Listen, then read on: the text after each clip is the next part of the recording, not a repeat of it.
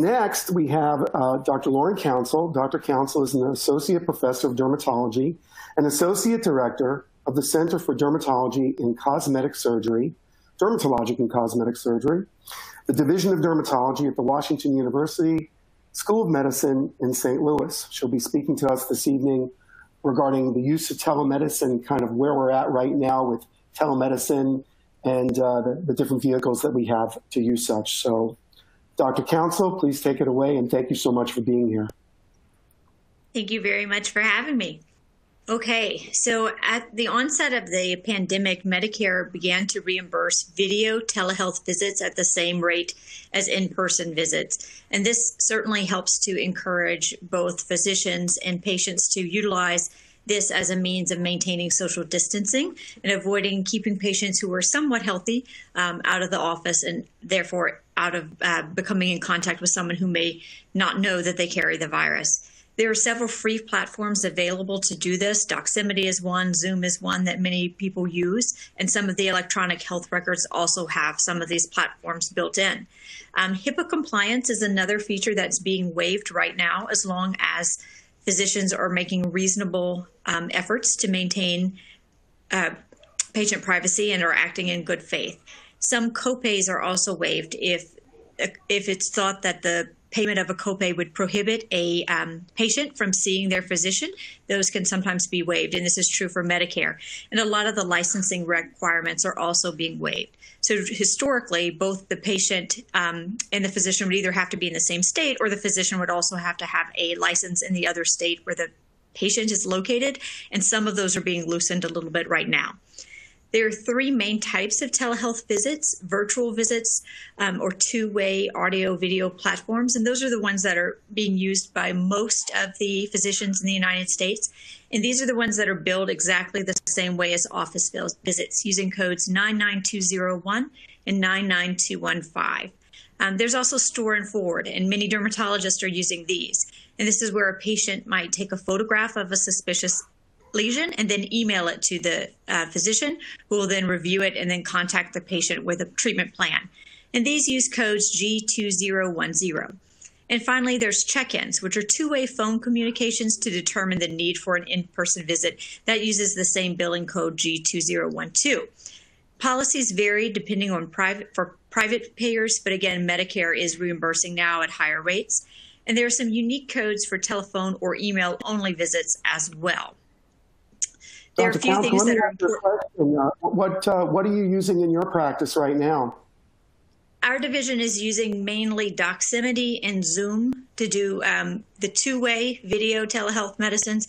We're also just using directly, we use Epic as our electronic health record, and we're also having patients use the MyChart feature of Epic to send in photographs and then be contacted by the phone.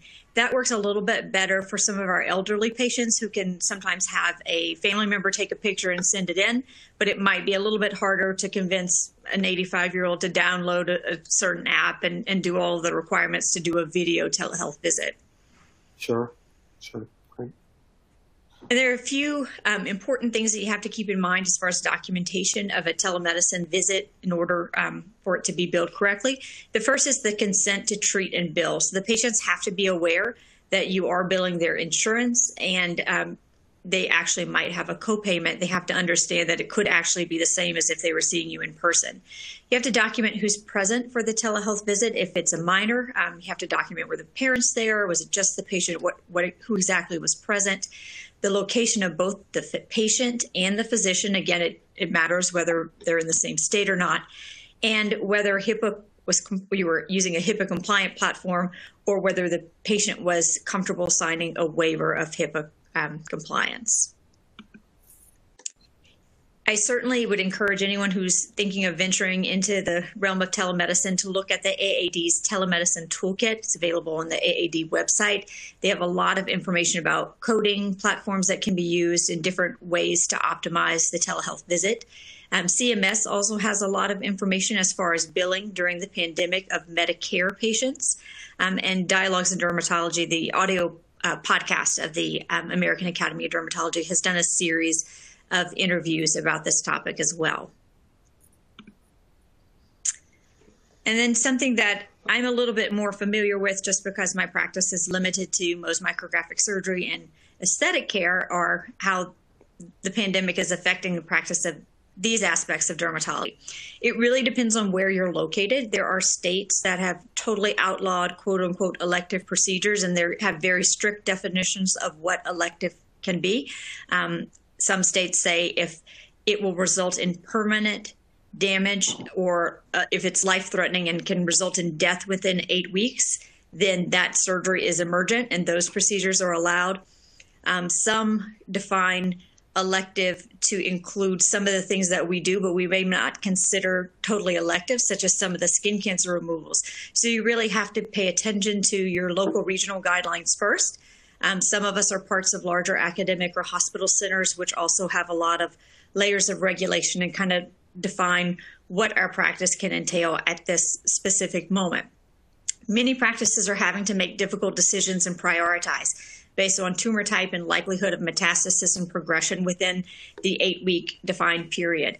So while most centers are still taking care of melanomas and squamous cell carcinomas, some patients are being asked to wait longer if they have a basal cell carcinoma to wait several weeks until things may be safer. And in certain cities like New York City, when things were really overwhelming the healthcare system, many practices completely shut down for a couple of weeks um, to accommodate for that. For the practices that have remained open and for these urgent cases in dermatology, it's really important that we all maintain good social distancing practices in the office. Um, there are different ways of doing this. You can have patients call when they arrive to the office and then come up right when they can be roomed as opposed to utilizing the waiting room. You can utilize a waiting room, but only have a few chairs out so that everyone in there would be six feet apart. Um, certainly, reducing the overall volume of the office can help both fewer patients and fewer staff. And if you're seeing fewer patients, you need fewer staff as well. Um, everyone, even everyone wears a mask. Visitors are minimized. Really, just the patients are coming in, not having their spouse or significant other coming in. Um, good hand washing techniques, personal protective equipment. So we're always making sure that if we're doing a procedure, we use goggles. Um, we actually are using N95 masks for procedures on the face, although our infectious disease colleagues have told us that's probably a little bit overkill. If you think that you could get any blood or fluid on your body, you should also be wearing a gown, hat, shoe covers, those sort of things. Um, and then we're really being aggressive about screening patients before they come into the visit. So asking questions about exposures to other individuals who have had the virus, fevers, coughs, loss of, loss of taste and smell, and those sort of sort of things.